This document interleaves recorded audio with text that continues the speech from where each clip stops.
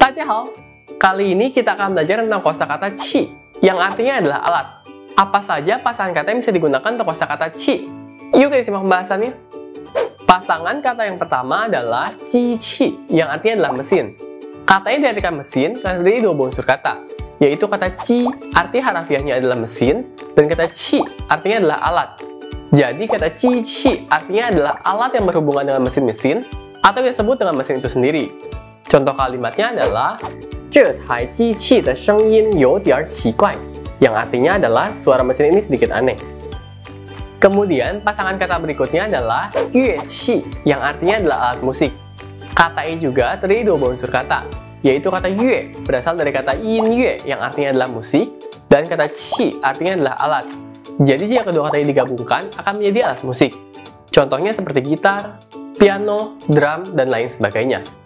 Contoh kalimatnya adalah Mi xiang mai shenme yue qi yang artinya adalah kamu ingin membeli alat musik apa. Selanjutnya, pasangan kata yang terakhir adalah tian qi yang artinya adalah barang elektronik. Kata ini juga terdiri dua unsur kata, yaitu kata tian artinya adalah listrik dan kata qi artinya adalah alat. Maka, jika kedua kata ini digabungkan, akan memiliki arti alat yang berhubungan dengan listrik atau yang bisa disebut dengan barang elektronik.